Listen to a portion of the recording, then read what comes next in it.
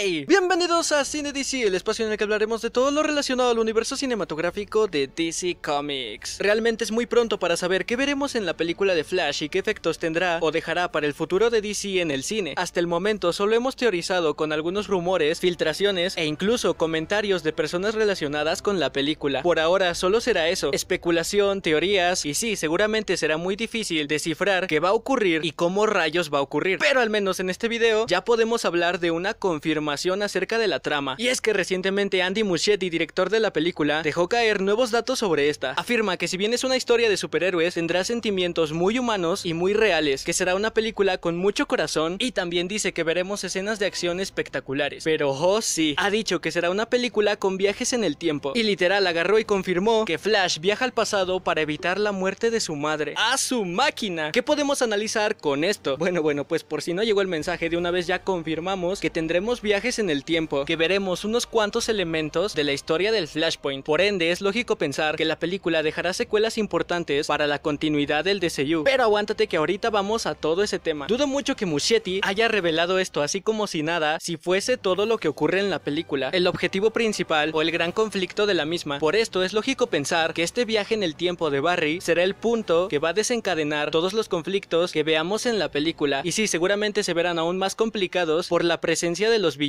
Han habido muchos rumores que vinculan a la película, se ha hablado mucho acerca del tema, incluso personas relacionadas con DC han mencionado esto, y hasta Snyder ha dicho que ahora en el cine se están yendo por la idea de su multiverso que es muy fuerte. O sea que a pesar de que vayamos a tener estos viajes en el tiempo, no se puede descartar que también veremos tierras alternas, en general la introducción del multiverso. Ahora, hace un tiempo tuvimos dos filtraciones sobre el guion de la película, y ambas incluían esto de viajar en el tiempo para salvar a la madre, como el hecho que todo, que decía la primera. En esta afirmaban que luego del viaje en el tiempo, Barry se encontraría con una nueva continuidad con modificaciones irreversibles. En esta se eliminaban algunos eventos del canon que había creado Snyder, como Man of Steel, Batman v Superman y también de la Liga de la Justicia. Este equipo no existía en esta nueva continuidad, e incluso según la filtración, todo esto funcionaba para introducir a Robert Pattinson como el nuevo Batman del DCU. Esto daba la oportunidad para que las películas de Snyder ahora sí se queden como una continuidad anterior denominada Snyderverse. A su vez, otras franquicias como Aquaman, Shazam, Wonder Woman, Black Adam se quedaban intactas. Así podrían tener continuidad en el nuevo DCU y así podríamos ver otro intento para unir a una nueva Liga de la Justicia en un futuro. Que decía la segunda filtración. Esta llegó con el notición de las conversaciones de Michael Keaton. Al parecer, luego del viaje en el tiempo de Barry para rescatar a su madre, se encontraba con una nueva continuidad. En esta, la versión de Batman era la de Michael Keaton, quien había estado activo en los últimos 30 años. Así, técnicamente, esta nueva continuidad se volvía la del Batman de Tim Burton. ¿Cómo es que podría ocurrir esto? Quién sabe. Pero luego de regresar todo a la normalidad, esta terminaría modificada y así daba paso a que Michael Keaton se quedara en el DCU como un mentor, un guía. Ahora realmente es muy difícil saber qué va a ocurrir, pues cómo podría el viaje en el tiempo de Barry crear una nueva continuidad con Michael Keaton. Cómo a pesar de que se busca más tarde en la película regresar todo a la normalidad, Michael Keaton se quedaría en el DCU. Pues sí, son temas bastante complejos, pero es precisamente por eso que no perdemos la idea de que este viaje en el tiempo sea solo la excusa para que Barry termine viajando a través de todo el multiverso. Incluso ya hemos explicado cómo la crisis, la reestructuración del multiverso y todo esto podría ser parte del arco argumental de la película. Aquí el punto más importante es que ver viajes en el tiempo y tener este pequeño elemento del Flashpoint ahora también en las películas seguramente llevará a que se abra una nueva continuidad en el DCU. Hará falta ver si en esta se queda Michael Keaton, si se queda como está, pero con la adición de que ahora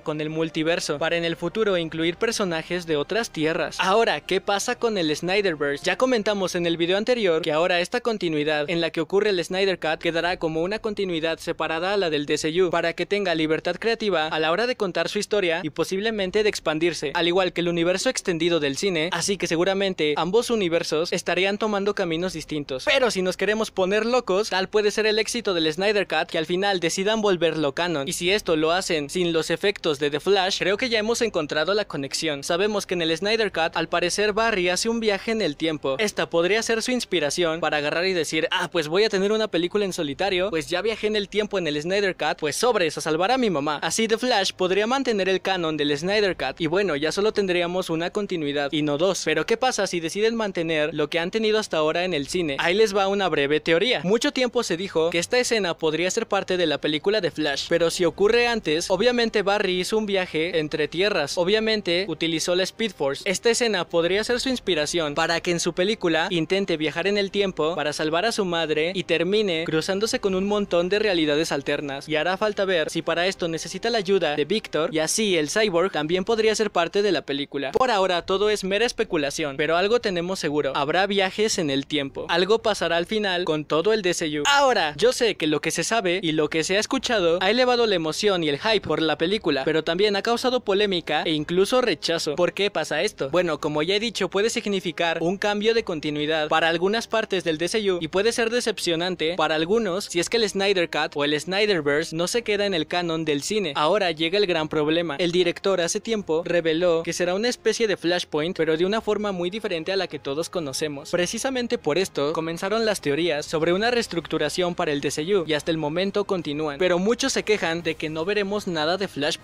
Literal, ahora sabemos que Jeffrey Dean Morgan ni siquiera estará apareciendo como Batman en su versión de Thomas Wayne. Recientemente el sitio Heroic Hollywood afirmó que no veremos la guerra entre Amazonas y Atlantes. O sea que de Flashpoint no está teniendo nada. Pero a ver, a ver, yo creo que si la película hasta el momento no se llama Flashpoint y si al final este no termina siendo el título, si no la venden como un Flashpoint, creo que no podemos quejarnos de que no se adapten estos arcos. Si la película se termina llamando Flashpoint, creo que sí podemos quejarnos. Ahora, veamos la ventaja. Si en esta película no vemos los arcos más clásicos de Flashpoint, bueno, abre la oportunidad para verlos más tarde. Incluso eso puede ser una secuela de esta película de 2022, como un montón de continuidades alternas creadas gracias a esta primera película. Y sí, todo tendría como eje el intento de Barry por salvar a su madre. Ahora quiero que me dejes abajo en los comentarios qué opinas acerca de esta película. ¿Te está gustando lo que vamos conociendo sobre esta? ¿Le tienes fe a The Flash de 2022? ¿Crees que aparte de viajes en el tiempo, veremos el multiverso? Si te ha gustado este video, te invito a que le dejes un poderosísimo like, a que te suscribas al canal si aún no lo has hecho, a que lo compartas con tus amigos para llegar a más público, a que no te pierdas nuestros anteriores videos y a que actives la campanita para que no te pierdas nuestros futuros videos. Y yo fui Axel Ramita, nos vemos. Bye.